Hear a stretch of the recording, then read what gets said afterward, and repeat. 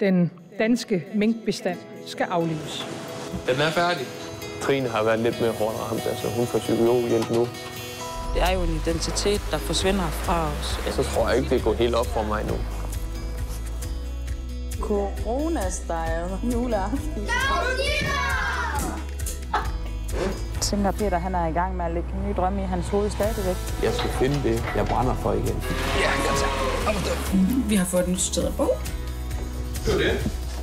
Nu starter vi på en frisk. Altså, vi, vi cutter her, og så skal vi bare tænke fremad. Nu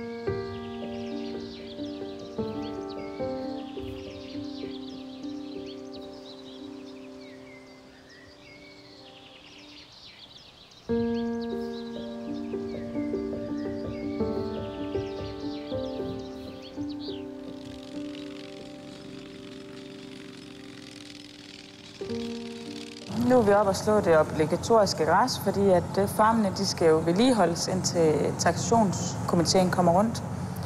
Så det er, her er noget, vi skal gøre ja, nok de næste tre år, indtil at øh, de kommer færdigvurdere farmene. Det her, det er bare fucking træls.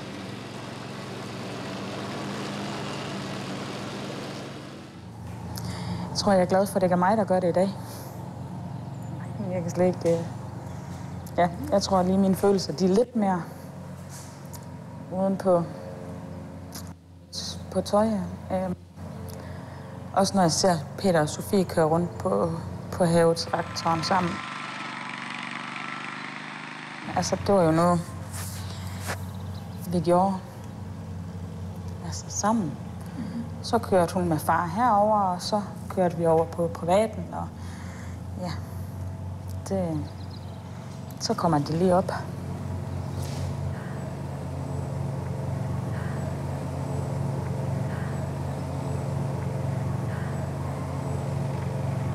Så det her, det, det, det, det skal stå på i tre år nu. Og jeg tænker, det kommer til at tage mig længere tid end tre år. Ah, men det er da godt nok nogle følelser, der bliver ribbet op i ved, ved avler. Eller forhåndværende avler.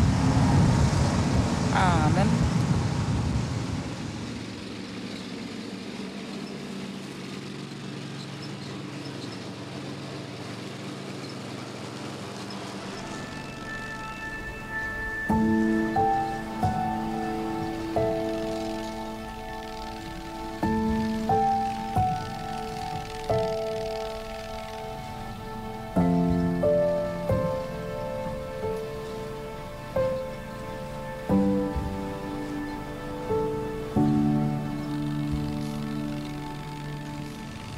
skal jo have på slå det græs, så ja.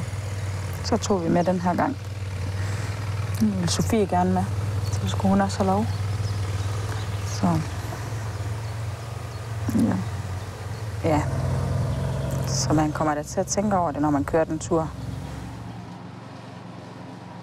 Glad for at komme tæt på, på vores familie igen. Øhm, venner og bekendte, det, det er rigtig godt. Øh, det har i hvert fald været en, en stor hjælp i forhold til den psykiske del i, i alt det her.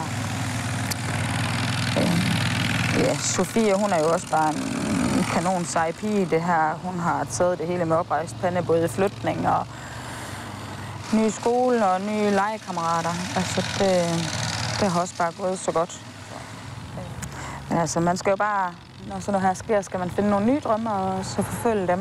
Øh, så det, tænker Peter, han er i gang med at lægge nye drømme i hans hoved stadigvæk, øh, hvad det er, der skal foregå.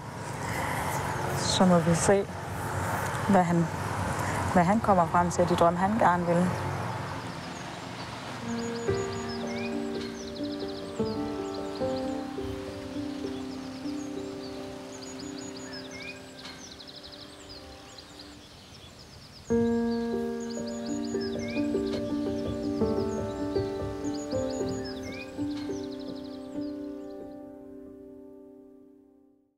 Så har vi den 30. august. Øh, Ja, jeg står her ude foran vores øh, snart gamle hus. Øh, ja, her har vi boet siden uge 8. efter vi flyttede fra minkfarmen. Og så har vi jo købt et hus ude i Klokkerholm, som vi gerne skulle få nøglen til. Lige om snart. Vender lige kameraet her. Selvom, øh, ja, ja. Mink. Ja. Lad os sige. Vi venter på, at, øh, at kommissionen den skal blive nedsat, så de kan komme i gang med at vurdere nogle minkfarme. Så næste, det bliver overtagelse af det nye hus. Så vi kan komme videre. Øhm, forleden dag, der kiggede jeg en masse billeder igennem. Jeg har på, på Facebook og på Snapchat og sådan noget. Og det er jo lidt, lidt hårdt at se, at, at Sofie hun står der med, med baby mink, med valpene i, i kuvøser. Bare se det. Altså, det var jo... Det er lidt... Det er rørende at se. Øh, omsorgsgenet, vores der der har.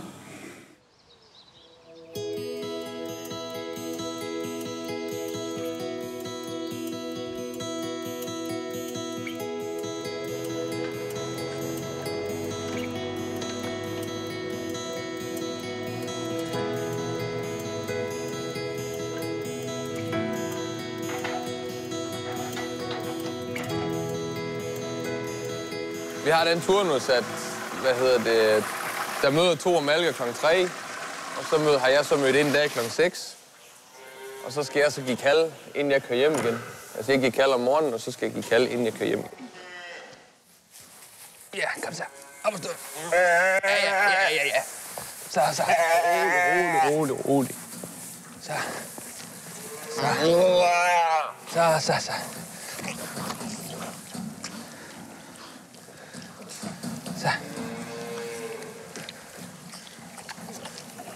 Det er skønt. Stadigvæk kan arbejde med dyr, og stadigvæk komme ud. Altså gå udenfor. Det, det er dejligt. Det, jeg har haft en lidt tilvænning til, det er, at det ikke er mig, der bestemmer. Det skulle vi lige have tilvendt. Altså, det er jo ikke mig, der har det sidste ord.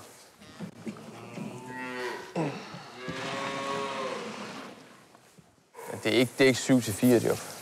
Altså, vi møder tidligt, men så er vi også tidligt fri. Man kan komme hjem, få noget, få noget at lave.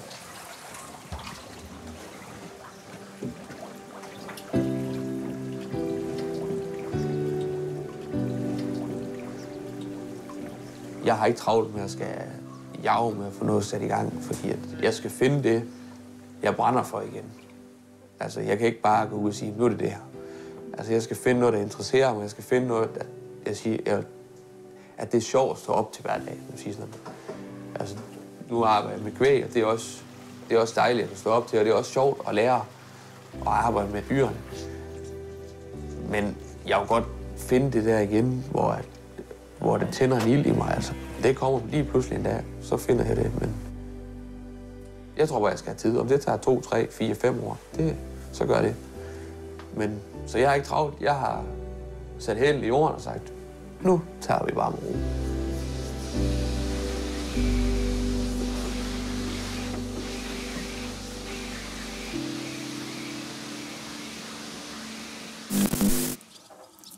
Første september.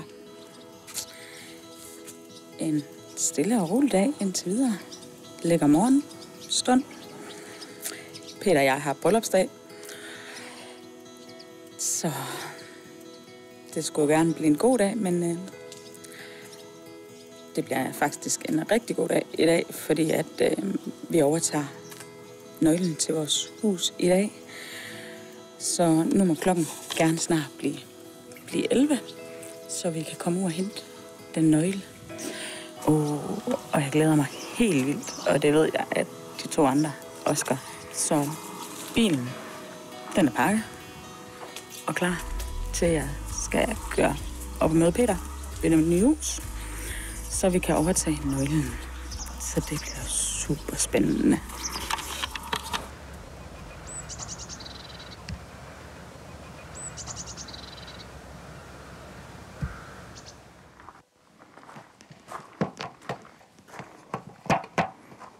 Vi har jo købt det her hus øh, og har fået nøglen lidt før tid nu. Det her hus, det kom jo til salg. Øh, og så ligger det jo bare mega godt i forhold til, til Sofie og legekammerater og, og sådan noget. Så, og så er det ikke et hus, der skal kalkes. så, så vi slog til og blev enige med sælge om en pris. Så det er jo bare super fedt, at, at det kunne lade sig gøre. Vores budget er regnet ud fra, fra den øh, almindelige løn, vi har nu. Øh, der er slet ikke øh, indtænkt øh, vores minkfarm i det her, øh, i det her huskøb overhovedet. Når man køber et hus, så er det jo stort. Øh, det er jo en fed fornemmelse at have sit eje, og ja.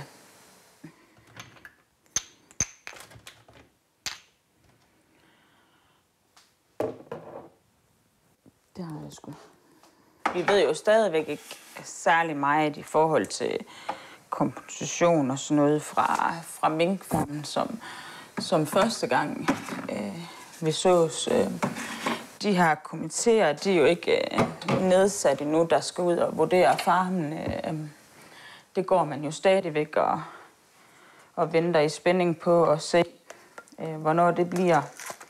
Øh, og stadigvæk skal, skal vi lige holde farmene. Det gør vi jo stadigvæk. Øh. Jeg ved, at, at farmen er blevet, blevet malet. Øh, alle udhæng og sådan noget. Øh. Altså, jeg håber da ikke, det var for mange år endnu. Fordi så bliver man da nok godt og grundigt lidt tosset i hovedet, hvis man skal blive ved med det sjov i fem år endnu. Så tror jeg ikke, jeg synes, det er sjovt længere, hvis vi skal fortsætte. Så jeg håber da, at inden for, for kort tid, så, så kommer den der komité, der skal, der skal rundt og vurdere farmene. Jamen, jeg ved ikke rigtig, hvad jeg havde forestillet mig, men jeg havde nok forestillet mig, at man i hvert fald var, var kommet i gang nu. Var kommet i gang for de her, øh, for mit og min mand, som min, min datters og vores familier og, og vores kollegaers skyld, øh, så vi kan få lukket det her kapitel, fordi det har jo taget øh, rimelig hårdt på en del af os. Øh, men man mangler jo bare lige det sidste der til at komme helt videre, i stedet for at vi skal blive ved med at gå her og, og vente og være, være usikre på, hvad er det, der skal ske, og hvad skal der ikke ske, og så hvis nu de skulle forebygge en masse psykisk ved folk, øh, der har været i den her branche, så skulle de jo have fået lukket kapitlet.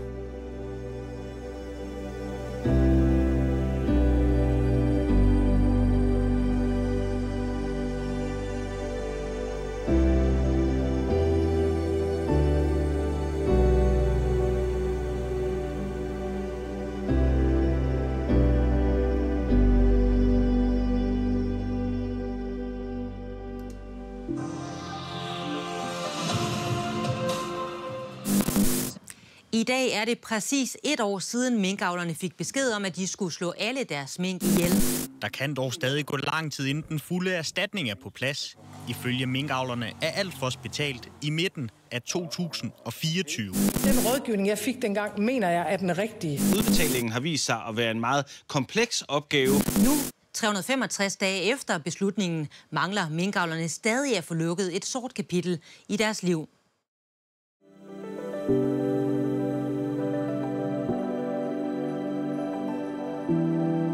Det er mit jagtværelse. Det var, det var en af de ting, jeg sagde, det, det skulle det her rum bruges til. Det var det, og der, skal ikke, der skulle ikke laves noget om. Det skulle bare være, som det var. Jamen, så sidder jeg her, og så, det er, når kammeraterne kommer på besøg. Vi, vi kan gå herind og få en øl, eller...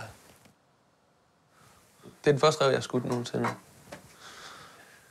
Den der er skudt i Danmark i år. Så jeg simpelthen stoppe med at arbejde igen. Øh, Jeg kan simpelthen ikke, jeg kan ikke, jeg kan ikke mag- overskue og magte lige nu.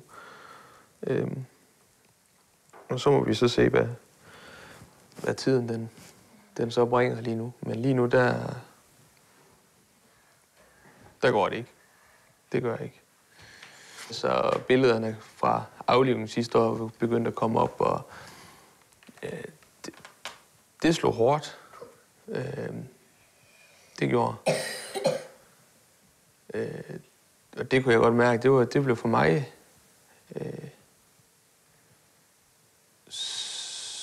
så jeg kan ikke huske, hvad dag det var. Jeg kan ikke huske ret meget fra det her i år, hvad der skete, men jeg kan ikke simpelthen fuldstændig. Øh, kunne ikke tage på arbejde, kunne ingenting, gad ingenting. Øh, Risse af folk, øh, ja, der skulle ikke ret meget til, før jeg blev sur. Øh, øh, så det var også derfor, at vi tog den beslutning, at det nok var på tide, at, at jeg fik snakket med en psykolog om alt det her, hvad der var sket, og fik det bearbejdet. Øhm, og som, som psykologen sagde, jamen, jeg, havde, jeg har jo kørt siden 9. oktober, har vi jo kørt 120 timer hver dag, har ikke holdt fri, og har bare kørt fuld knald på. Øh, da jeg blev færdig med farmen, men der gik jo ikke ret lang tid, jamen, der havde jeg fundet arbejde igen, for jeg kunne ikke sidde stille. Altså, jeg var bange for at sidde stille. Jeg var bange for, hvad der kom til at ske. Øh, og hun sagde også, jamen, hvis hun, havde, hvis hun havde vist, hvordan det, mit, mit år det skulle køre, så, viste, så sagde hun, jamen, så vidste hun, at jeg holdt knæk. På et eller andet tidspunkt, så ville det bare ramme mig. Og det gjorde, og det ramte mig hårdt. Det var... Altså, ja, det var bare svært. Og det, jeg vidste ikke, hvad jeg skulle snakke om. Altså, det var det. Altså, jeg havde bare det der med, at jeg kunne sove om natten, og det hele det kom bare op igen. Det, det var nok det, der var hårdest. Peter.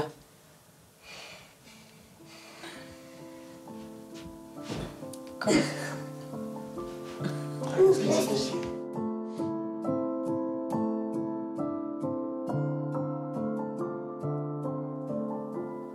Vi snakker om det. Vil du have det med? Jeg ved ikke, hvad der er snak om. Altså, det, Det gør lidt ekstra ondt for tiden at snakke om. ja, det er fordi, der er alt det oppe i medierne, og alle de der billeder, de begynder at køre igen fra dengang. Det er hendes historie, der, den kører på, altså hvad hun har lavet og sådan noget. Men de glemmer lige, at, hvad det er, de har smadret ved siden af. Altså, nu er det hende, der jamen, hun har gjort. Hun har slet de sms'er, og hun vil ikke fortælle det, og de, nu er det væk og sådan noget. Jamen, det er også fint nok. Men det er bare som om, at jamen, vi er bare blevet sat til side og siger, jamen, I må vente, til vi er færdige med det her. Så, fordi vi kan ikke komme videre. Altså, der går jo 3-4-5 år, før vi er færdige.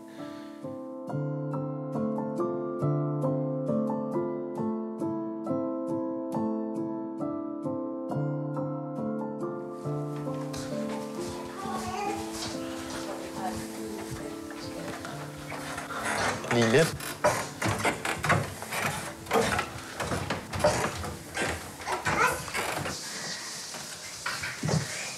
Det der jo er, er sjovt, det er jo, at de går jo meget langt tilbage. Der står jo på den.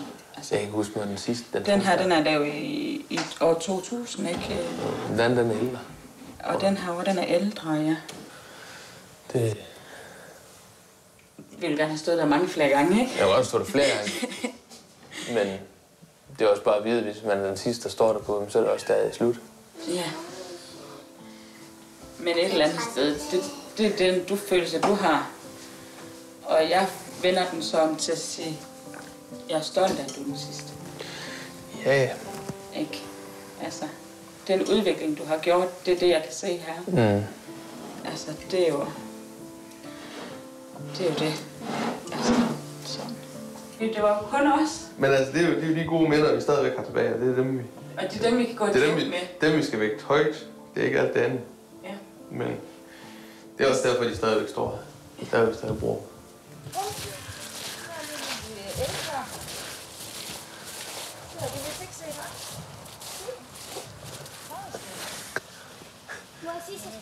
Vi finder så meget sjov. Det... Ja, der er tre ender. Og så er der en svan. Og to fugle. Men der kommer flere og flere ting frem. Så lige nu, der tager vi bare med ro, og så skal vi bare ovenpå igen. Og så må vi så se, hvad vi så kommer i gang med. Ja, Jamen ikke om, hvis ikke det var ramt mig nu, jamen, så er det måske ramt om et år, eller to, eller tre. Altså, det er jo det. Men altså, jeg kommer aldrig til at glemme, hvad vi lavede i 2020.